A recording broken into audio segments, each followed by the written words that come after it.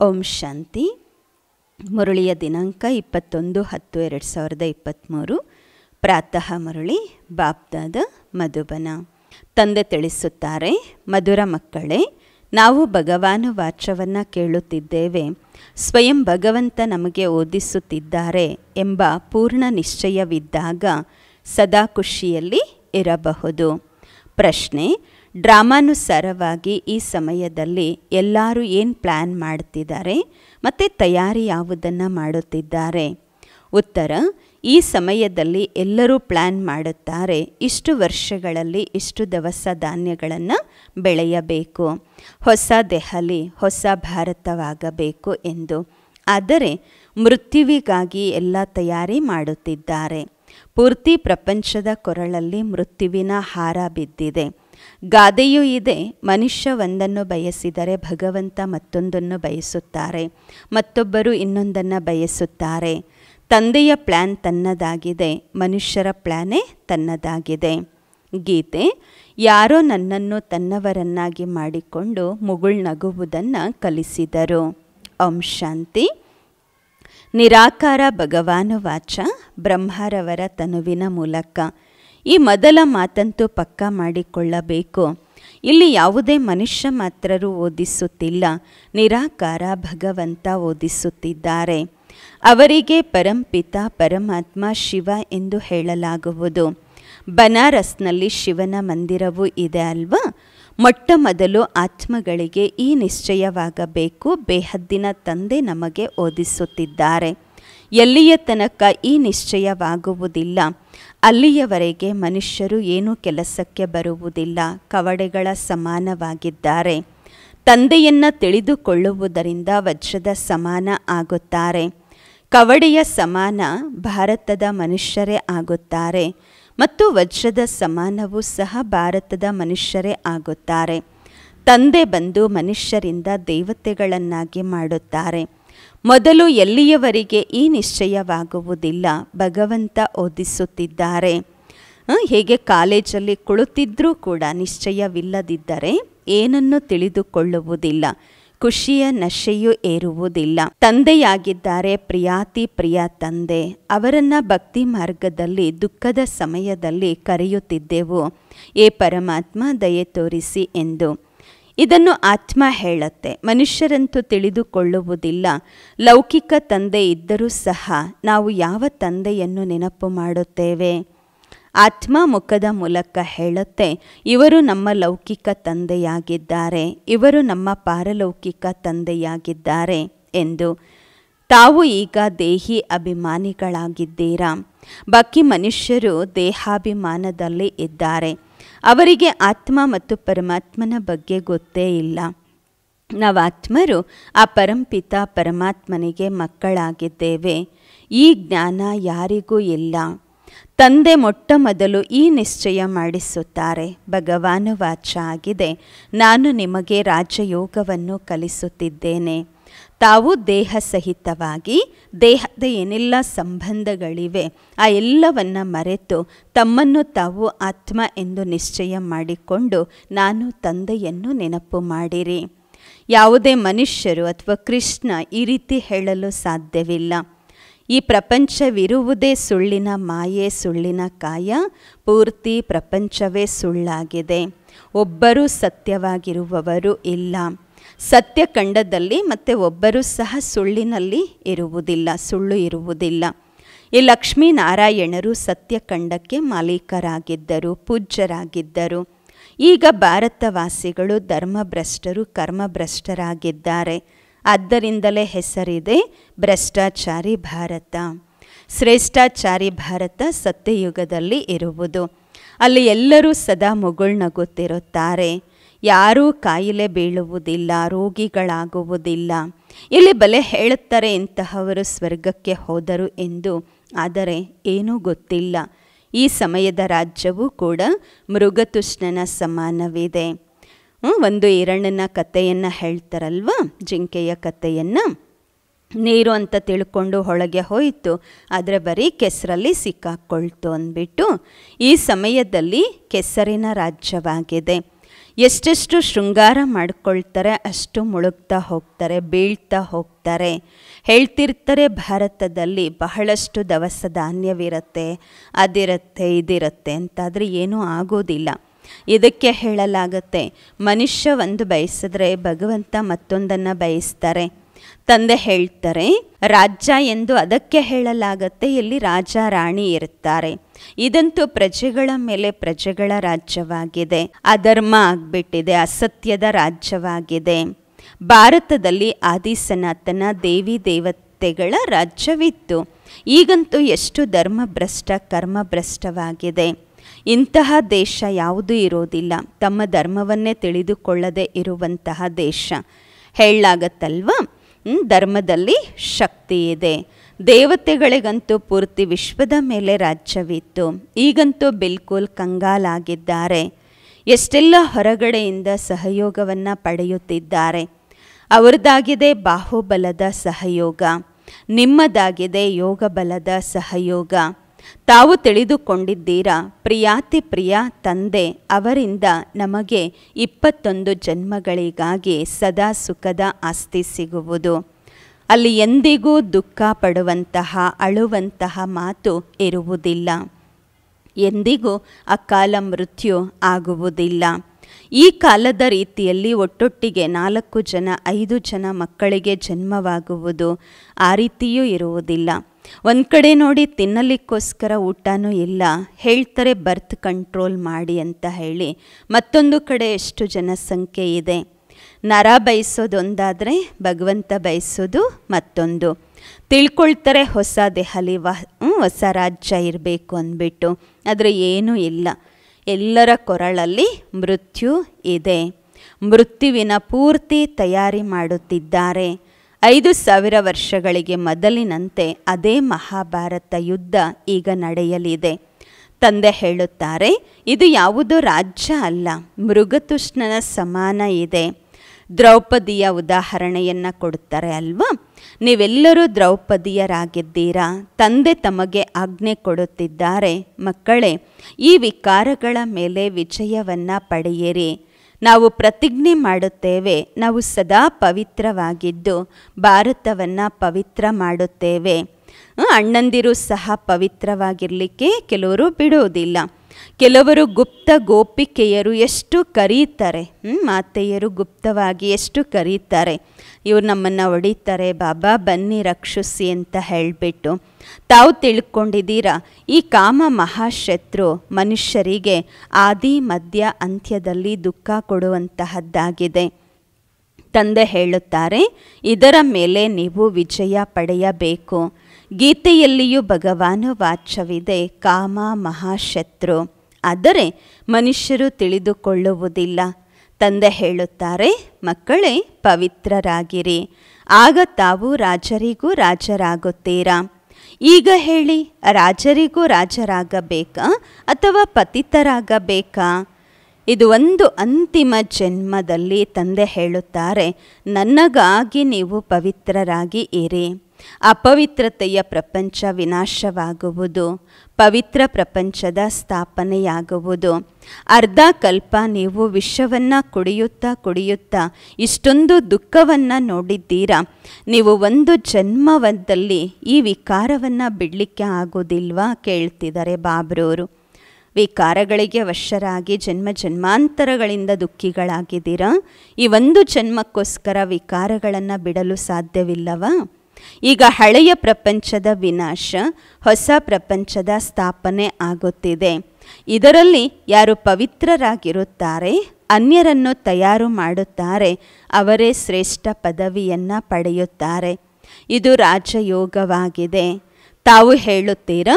ನಾವು ಬ್ರಹ್ಮ ಕುಮಾರ ಕುಮಾರಿಯರಂತೂ ಪ್ರಜಾಪಿತ ಬ್ರಹ್ಮರವರಿಗೆ ಸಂತಾನರಾಗಿದ್ದೇವೆ. ಬ್ರಹ್ಮರವರು ಶಿವ ತಂದೆಗೆ ಮಗುವಾಗಿದ್ದಾರೆ. ತಮಗೆ ಆಸ್ತಿ ಕೊಡುವಂತಹವರು ಶಿವ ಆಗಿದ್ದಾರೆ. ನಿರಾಕಾರಿ ಗಾಡ್ ಫಾದರ್ಲಿ ಯೂನಿವರ್ಸಿಟಿ ಇದಾಗಿದೆ. ಅವರು ಸ್ವರ್ಗವನ್ನು ಸ್ಥಾಪನೆ ಮಾಡುವವರಾಗಿದ್ದಾರೆ. ಆಸ್ತಿಯನ್ನು ಕೊಡುವವರು ತಂದೆಯೇ ಆಗಿದ್ದಾರೆ. ತಂದೆಯೇ ಗಾಡ್ ಫಾದರ್. ಮತ್ತು ದಯಾಸಾಗರ, ಜ್ಞಾನಸಾಗರ ಅವರೇ ಕುಳಿತು ನಮಗೆ ಓದಿಸುತ್ತಿದ್ದಾರೆ. ಆದರೆ ಯಾವಾಗ ದೇಹ ಅಭಿಮಾನ ಹೊರಟು ಹೋಗುತ್ತೆ, ಆಗ ಬುದ್ಧಿಯಲ್ಲಿ ಇದು ಕುಳಿತುಕೊಳ್ಳುತ್ತೆ. ಅದೃಷ್ಟದಲ್ಲಿ ಇಲ್ಲವೆಂದರೆ ಧಾರಣೆ ಆಗುವುದಿಲ್ಲ. ಜಗತ್ಪಿತನಿಗೆ ಮಕ್ಕಳು ತಾವಾಗಿದ್ದೀರಾ. ಬ್ರಹ್ಮ ಕುಮಾರ ಕುಮಾರಿಯರು ರಾಜಯೋಗವನ್ನು ಕಲಿಯುತ್ತಿದ್ದೀರಾ? ತಮ್ಮದೇ ಸ್ಮಾರಕ ನಿಂತಿದೆ. ಎಷ್ಟು ಒಳ್ಳೆಯ ಮಂದಿರವಿದೆ. ಅದರ ಅರ್ಥವನ್ನು ತಾವು ಮಕ್ಕಳ ಹೊರತು ಮತ್ತಾರೂ ತಿಳಿದುಕೊಂಡಿಲ್ಲ. ಪೂಜೆ ಮಾಡುತ್ತಾರೆ ತಲೆ ಬಾಗುತ್ತಾರೆ ಎಲ್ಲ ಹಣವನ್ನು ಕಳೆದುಕೊಂಡಿದ್ದಾರೆ. ಈಗ ಬಿಲ್ಕುಲ್ ಕವಡೆಗಳ ಸಮಾನವಾಗಿದ್ದಾರೆ. ತಿನ್ನಲು ಅನ್ನವೂ ಇಲ್ಲ. ಆ ರೀತಿಯಾಗಿದೆ ಭಾರತದ ಸ್ಥಿತಿ. ಈಗ ಹೇಳ್ತಾರೆ ಮಕ್ಕಳು ಕಡಿಮೆ ಆಗಬೇಕು, ಜನಸಂಖ್ಯೆ ಕಡಿಮೆ ಆಗಬೇಕು ಅಂದ್ಬಿಟ್ಟು. ಆದರೆ ಯಾವ ಮನುಷ್ಯರಿಗೂ ಈ ಶಕ್ತಿ ಇಲ್ಲ, ಕಾಮ ಮಹಾಶತ್ರುವಾಗಿದೆ, ಪವಿತ್ರವಾಗಿರಿ ಅಂತ ಹೇಳೋ ಶಕ್ತಿ ಯಾರಿಗೂ ಇಲ್ಲ. ಇಲ್ಲಂತೂ ಎಷ್ಟೆಷ್ಟು ಹೇಳಲಾಗತ್ತೆ, ಕಡಿಮೆ ಜನಸಂಖ್ಯೆ ಆಗಲಿ ಅಂತ ಹೇಳಿ ಪ್ರಪಂಚದಲ್ಲಿ ಅಷ್ಟು ಜಾಸ್ತಿ ಜನಸಂಖ್ಯೆ ಆಗ್ತಾ ಇದೆ. ಯಾರ ತಾಕತ್ತು ನಡೆಯುವುದಿಲ್ಲ.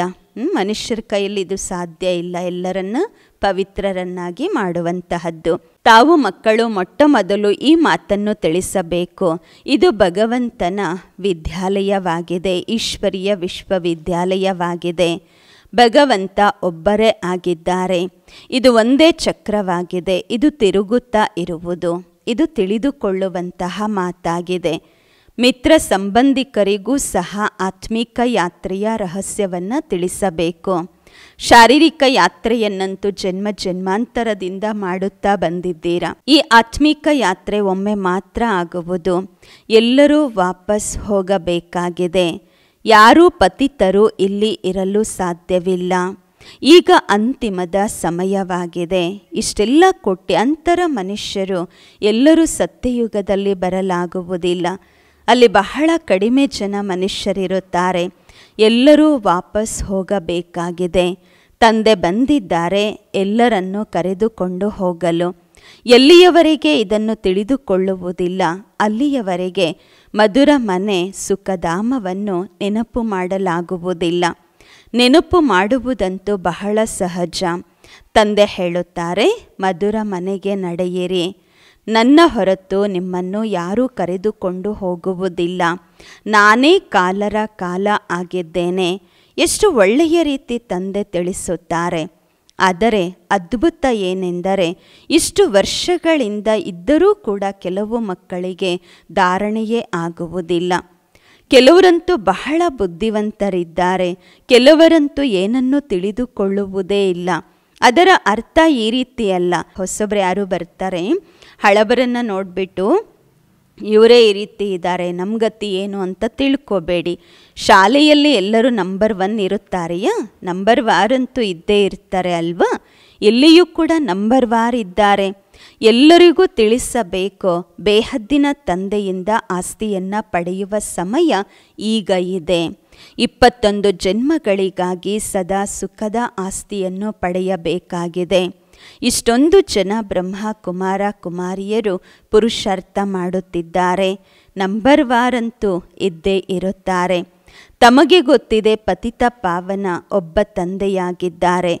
ಬಾಕಿ ಎಲ್ಲರೂ ಪತಿತರಾಗಿದ್ದಾರೆ. ತಂದೆ ಹೇಳುತ್ತಾರೆ, ನಮ್ಮ ಸದ್ಗತಿದಾತ ಒಬ್ಬರಿದ್ದಾರೆ, ಅವರೇ ಸ್ವರ್ಗದ ಸ್ಥಾಪನೆ ಮಾಡುತ್ತಾರೆ, ಈ ನಿಶ್ಚಯವಿರಬೇಕು. ನಂತರ ಭಾರತವೇ ಇರುವುದು, ಬಾಕಿ ಎಲ್ಲ ವಿನಾಶವಾಗುವುದು. ಮನುಷ್ಯರ ಬುದ್ಧಿಯಲ್ಲಿ ಇಷ್ಟು ಮಾತು ಸಹ ಕುಳಿತುಕೊಳ್ಳುವುದಿಲ್ಲ. ತಂದೆ ಹೇಳುತ್ತಾರೆ, ಮಕ್ಕಳೇ, ನನಗೆ ಸಹಯೋಗಿಗಳಾಗಿದ್ದಾಗ ನಾನು ನಿಮ್ಮನ್ನು ಸ್ವರ್ಗದ ಮಾಲೀಕರನ್ನಾಗಿ ಮಾಡುತ್ತೇನೆ. ಧೈರ್ಯ ಮಕ್ಕಳದು ಸಹಯೋಗ ತಂದೆಯದು. ಗಾಯನವೂ ಇದೆ, ಈಶ್ವರಿಯ ಸೇವಾದಾರಿಗಳು ಎಂದು. ವಾಸ್ತವದಲ್ಲಿ ಶಾರೀರಿಕ ಸೇವಾದಾರಿಗಳು ಸೋಷಿಯಲ್ ವರ್ಕರ್ಸ್ ಅಂತೂ ಬಹಳಷ್ಟು ಜನ ಇದ್ದಾರೆ. ಆರ್ಮಿಯಲ್ಲಿ ಸೇವೆ ಮಾಡುತ್ತಾ ಇರುವಂತಹ ಸೈನಿಕರು ತುಂಬ ಜನ ಇದ್ದಾರೆ. ಸತ್ಯ ಸತ್ಯವಾಗಿರುವಂತಹ ಆತ್ಮಿಕ ಸಾಲ್ವೇಷನ್ ಆರ್ಮಿ ತಾವಾಗಿದ್ದೀರಾ? ಭಾರತದ ದೋಣಿ ಏನು ಮುಳುಗಿ ಹೋಗಿದೆ, ಅದನ್ನು ತಾವು ಪಾರು ಮಾಡುತ್ತಿದ್ದೀರಾ? ಭಾರತದ ಮಾತಾ ಶಕ್ತಿ ಅವತಾರ ತಾವಾಗಿದ್ದೀರಾ? ತಾವು ಗುಪ್ತ ಸೇನೆ ಆಗಿದ್ದೀರಾ? ಶಿವ ತಂದೆ ಗುಪ್ತವಾಗಿ ಇದ್ದಾರೆ ಅಂದಾಗ ಅವರ ಸೇನೆಯೂ ಕೂಡ ಗುಪ್ತವಾಗಿ ಇದೆ. ಶಿವಶಕ್ತಿ ಪಾಂಡವ ಸೇನೆ. ಸತ್ಯ ಸತ್ಯ ಸತ್ಯನಾರಾಯಣನ ಕತೆ ಇದಾಗಿದೆ. ಬಾಕಿ ಎಲ್ಲ ಸುಳ್ಳಿನ ಕತೆಗಳು. ಆದ್ದರಿಂದಲೇ ಹೇಳುತ್ತಾರೆ, ಕೆಟ್ಟದ್ದನ್ನು ನೋಡಬೇಡಿ, ಕೆಟ್ಟದ್ದನ್ನು ಹೇಳಬೇಡಿ, ಕೆಟ್ಟದ್ದನ್ನು ಮಾಡಬೇಡಿ, ಕೆಟ್ಟ ಸಂಕಲ್ಪಗಳನ್ನು ಸಹ ಮಾಡಬೇಡಿ. ನಾನು ತಿಳಿಸುತ್ತಿದ್ದೇನೆ, ಬಾಬಾ ಹೇಳ್ತಾರೆ, ನಾನು ಏನನ್ನು ತಿಳಿಸುತ್ತಿದ್ದೇನೆ ಅದನ್ನೇ ಕೇಳಿ. ಇದಾಗಿದೆ ಬೇಹದ್ದಿನ ದೊಡ್ಡ ಶಾಲೆ. ಈ ವಿಶ್ವವಿದ್ಯಾಲಯಕ್ಕಾಗಿ ಮನೆಗಳನ್ನು ಕೂಡ ತಯಾರು ಮಾಡಲಾಗಿದೆ. ಅಂತಿಮದಲ್ಲಿ ಎಲ್ಲ ಮಕ್ಕಳು ಇಲ್ಲಿ ಬಂದು ಇರುತ್ತೀರಾ? ಯಾರು ಯೋಗಯುಕ್ತರಾಗಿರುತ್ತಾರೆ, ಅವರಷ್ಟೇ ಇಲ್ಲಿ ಬಂದು ಇರುತ್ತಾರೆ. ಈ ನೇತ್ರಗಳಿಂದ ವಿನಾಶವನ್ನು ನೋಡುತ್ತೀರಾ? ಏನು ಸ್ಥಾಪನೆ ಮತ್ತು ವಿನಾಶದ ಸಾಕ್ಷಾತ್ಕಾರ ನಾವು ತಮಗಾಗುವುದಿದೆ? ಈಗ ದಿವ್ಯ ದೃಷ್ಟಿಯಿಂದಲೇ ತಾವು ನೋಡುತ್ತೀರಾ? ಈ ನೇತ್ರಗಳಿಂದಲೇ ನೋಡುತ್ತೀರಾ? ಇದರಲ್ಲಿ ಬಹಳ ವಿಶಾಲ ಬುದ್ಧಿ ಬೇಕಾಗಿದೆ. ಎಷ್ಟೆಷ್ಟು ತಂದೆಯನ್ನು ನೆನಪು ಮಾಡುತ್ತೀರಾ? ಅಷ್ಟು ಬುದ್ಧಿಯ ಬೀಗ ತೆರೆಯುತ್ತಾ ಹೋಗುವುದು. ಒಂದು ವೇಳೆ ವಿಕಾರದಲ್ಲಿ ಹೋದರೆ ಏಕ್ದಂ ಬುದ್ಧಿಯ ಬೀಗ ಬಂದಾಗುವುದು. ಶಾಲೆ ಬಿಟ್ಟರೆ ಮತ್ತೆ ಜ್ಞಾನ ಬುದ್ಧಿಯಿಂದ ಏಕ್ದಂ ಹೊರಟು ಹೋಗುವುದು. ಪತಿತರಾದರೆ ಮತ್ತೆ ಧಾರಣೆ ಆಗುವುದಿಲ್ಲ, ಪರಿಶ್ರಮವಿದೆ. ಇದು ಕಾಲೇಜ್ ಆಗಿದೆ ವಿಶ್ವಕ್ಕೆ ಮಾಲೀಕರಾಗಲು. ಈ ಬ್ರಹ್ಮ ಕುಮಾರ ಕುಮಾರಿಯರು ಶಿವ ತಂದೆಗೆ ಮೊಮ್ಮಕ್ಕಳು ಆಗಿದ್ದೀರಾ? ಈಗ ಭಾರತವನ್ನು ಸ್ವರ್ಗವನ್ನಾಗಿ ಮಾಡುತ್ತಿದ್ದೀರಾ? ನೀವು ಆತ್ಮಿಕ ಸಮಾಜ ಸೇವಕರಾಗಿದ್ದೀರಾ? ಪ್ರಪಂಚವನ್ನು ಪಾವನ ಮಾಡುತ್ತಿದ್ದೀರಾ? ಮುಖ್ಯವಾಗಿ ಇಲ್ಲಿ ಇರುವುದು ಪವಿತ್ರತೆ. ಶ್ರೇಷ್ಠಾಚಾರಿ ಪ್ರಪಂಚವಿತ್ತು ಈಗ ಭ್ರಷ್ಟಾಚಾರಿಯಾಗಿದೆ. ಈ ಚಕ್ರ ಸುತ್ತುತ್ತಾ ಇರುವುದು. ಇದು ದೈವಿ ವೃಕ್ಷದ ಸಸಿಯನ್ನು ಈಗ ನೆಡಲಾಗುತ್ತಿದೆ. ನಿಧಾನ ನಿಧಾನವಾಗಿ ವೃದ್ಧಿ ಆಗುವುದು. ಒಳ್ಳೆಯದು, ಮಧುರಾತಿ ಮಧುರ. ಅಗಲಿ ಹೋಗಿ ಮರಳಿ ಸಿಕ್ಕಿರುವ ಮಕ್ಕಳ ಪ್ರತಿಯಾಗಿ ಮಾತ್ಪಿತಾ ಬಾಪ್ದಾದಾರವರ ನೆನಪು, ಪ್ರೀತಿ, ಬೆಳಗಿನ ವಂದನೆಗಳು ಆತ್ಮಿಕ ಮಕ್ಕಳಿಗೆ ಆತ್ಮಿಕ ತಂದೆಯ ನಮಸ್ಕಾರಗಳು. ನಾವು ಆತ್ಮಿಕ ಮಕ್ಕಳಿಂದ ಆತ್ಮಿಕ ಮಾತ್ಪಿತಾ ಬಾಬ್ದಾದಾರವರಿಗೆ ನೆನಪು, ಪ್ರೀತಿ, ಬೆಳಗಿನ ವಂದನೆಗಳು ಹಾಗೂ ನಮಸ್ಕಾರಗಳು. ಧಾರಣೆಗಾಗಿ ಮುಖ್ಯ ಸಾರ ಫಸ್ಟ್ ಪಾಯಿಂಟ್ ಆಗಿದೆ. ಸತ್ಯ ಸತ್ಯ ಆತ್ಮಿಕ ಸಾಲ್ವೇಷನ್ ಆರ್ಮಿಯಾಗಿ ಭಾರತವನ್ನು ವಿಕಾರಗಳಿಂದ ರಕ್ಷಿಸಬೇಕು. ತಂದೆಯ ಸಹಯೋಗಿಗಳಾಗಿ ಆತ್ಮಿಕ ಸಮಾಜ ಸೇವೆ ಮಾಡಬೇಕು. ಎರಡನೇ ಪಾಯಿಂಟು, ಒಬ್ಬ ತಂದೆಯಿಂದಲೇ ಸತ್ಯ ಮಾತುಗಳನ್ನು ಕೇಳಬೇಕು, ಕೆಟ್ಟದ್ದನ್ನು ನೋಡಬಾರದು, ಕೇಳಬಾರದು, ಹೇಳಬಾರದು, ಮಾಡಬಾರದು, ಯೋಚಿಸಲೂ ಬಾರದು. ಈ ನೇತ್ರಗಳಿಂದ ಅಂತಿಮದ ದೃಶ್ಯವನ್ನು ನೋಡಲು ಯೋಗಯುಕ್ತರು ಆಗಬೇಕು. ವರದಾನ, ಅಪ್ಸೆಟ್ ಆಗೋದಕ್ಕೆ ಬದಲಾಗಿ ಲೆಕ್ಕಾಚಾರವನ್ನು ಖುಷಿ ಖುಷಿಯಿಂದ ಚುಕ್ತ ಮಾಡಿಕೊಳ್ಳುವಂತಹ ನಿಶ್ಚಿಂತ ಆತ್ಮರಾಗಿರಿ. ವರದಾನದ ವಿಶ್ಲೇಷಣೆ, ಒಂದು ವೇಳೆ ಎಂದಾದರೂ ಯಾರಾದರೂ ಏನೇ ಮಾತು ಹೇಳಿದ್ದಾರೆ ಅಂದರೆ ಅದರಲ್ಲಿ ತಕ್ಷಣ ಅಪ್ಸೆಟ್ ಆಗಬೇಡಿ. ಮೊದಲು ಸ್ಪಷ್ಟ ಮಾಡಿಕೊಳ್ಳಿ, ವೆರಿಫೈ ಮಾಡಿಕೊಳ್ಳಿ ಯಾವ ಭಾವದಿಂದ ಇವರು ಈ ಮಾತನ್ನು ಹೇಳಿದ್ದಾರೆ ಎಂದು.